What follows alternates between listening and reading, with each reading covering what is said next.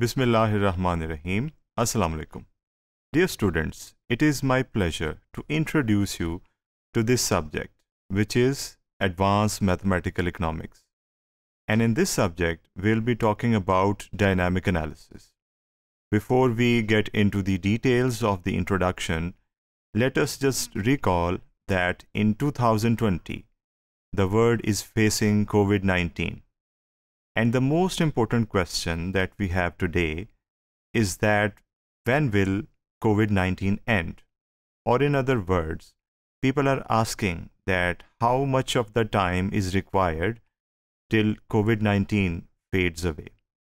So, you see, this question of time is very important to the whole world in current times. Not just today, not just this in this era.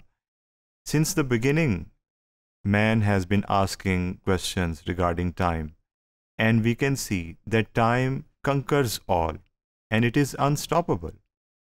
So, remembering this importance of time, we are going to incorporate the dimension of time in economic analysis. And this gives rise to dynamic analysis of economic models. So let us see what we have in addition to this introduction. We are talking about the need and importance of dynamic analysis in economics. And before we formally begin the course, uh, basics जो हमें आनी चाहिए the things that are the prerequisites they are basic mathematical economics we should remember what are the things that we have studied in basic mathematical economics and then we have uh, other things that we will uh, compare here there are three types of uh, analysis that we can do in economics when it comes to the consideration of time. The first one is static analysis and as the name says static something जो कि रुका हुआ है so static analysis में हम time के change होने की बात नहीं करते in other words time is considered to be static so that is why we say that it is static analysis but sometimes we say that comparative static analysis can also be conducted and as the name says comparative static इसका मतलब है इसमें हम मुकाबलतन बात कर रहे हैं कि स्टैटिक एक स्टेट से दूसरी स्टैटिक स्टेट तक हम जा रहे हैं और उनका कंपैरिजन पॉसिबल है so still there is a thing which is missing here जो कि तीसरे टाइप ऑफ एनालिसिस में हो सकती है and that is dynamic analysis Dynamic means something that changes over time so in dynamic analysis we'll talk about the economic variables that change continuously over time so there are no uh, serious gaps in, in the two situations. It is dynamic throughout the discussion. So uh, a few words about these three types of analyses. Uh, static का मतलब हमें पता है साकिन होता है इसलिए इसके अंदर there is no movement and over time there is no change. So, comparative static analysis, मुकाबलतन ये साकिन है, एक एक तरह से बिकॉज़ इसके अंदर एक स्टेट से हम दूसरी स्टेट में जंप करके चले जाएँगे। और एक्जॉजनस वेरिएबल्स उसकी रीज़न बन सकते हैं। अभी हम जब डिटेल्स में जाएँगे तो हम इनकी एग्जांपल्स भी देखेंगे।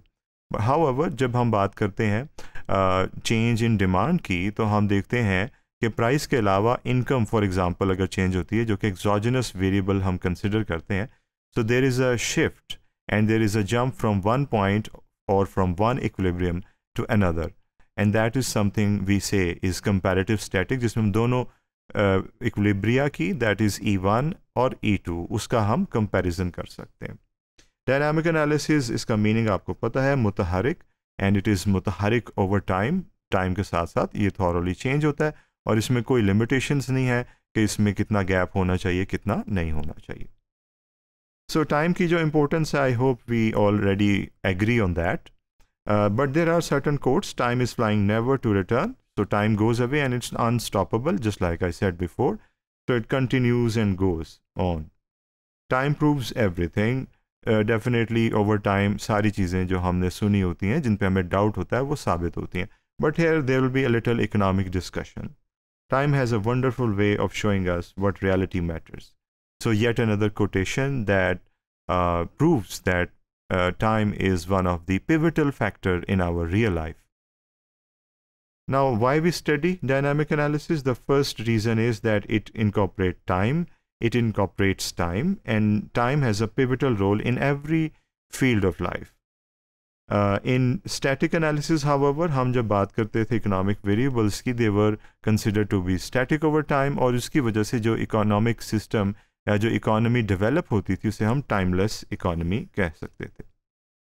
सो टाइम डायमेंशन होती है इसके अंदर और दूसरा ये कि इसके अंदर इक्विलिब्रियम की जब बात करते हैं it differs a little bit for example जब हम डायनामिक इक्विलिब्रियम की डायनामिक एनालिसिस की बात करते हैं तो इसके अंदर प्रोसेस ऑफ़ अचीविंग इक्विलिब्रियम की बात करते हैं। वेर एज जब हम स्टैटिक एनालिसिस की बात करते थे तो सिर्फ़ इक्विलिब्रियम की बात करते थे। इट मीन्स कि यहाँ पर सिर्फ़ इक्विलिब्रियम की बात नहीं कर रहे, बल्कि उसको अचीव करने के भी हम डिटेल्स डिस्कस करेंगे। चाहे वो इक्विलिब्रियम हो या डिसइक्विलिब्रियम उसका जो सारा रास्ता है, हम उसको हम समझने की कोशिश करेंगे।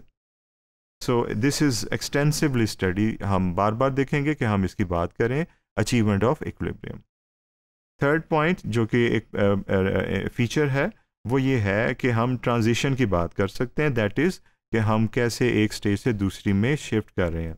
दैट इज़ कि जब हम स्टैटिक एनालिसिस की बात करते हैं तो वैसे ही है जैसे हम एक पिक्चर देख रहे हैं, जो कि चेंज नहीं हो रही, एक स्टैटिक पेज के ऊपर एक प्रिंटेड पिक्चर है।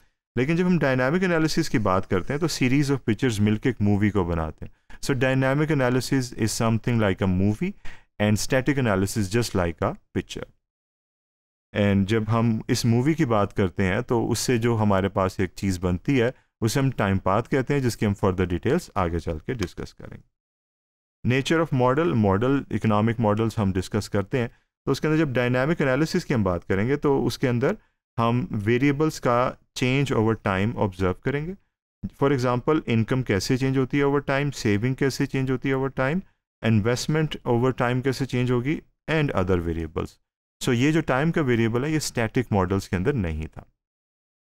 ये रियलिस्टिक है dynamic analysis why because in real life things are changing over time just like we have already understood time is unstoppable और जब ये चेंज होता है तो ये बाकी चीज़ों को भी चेंज करता है।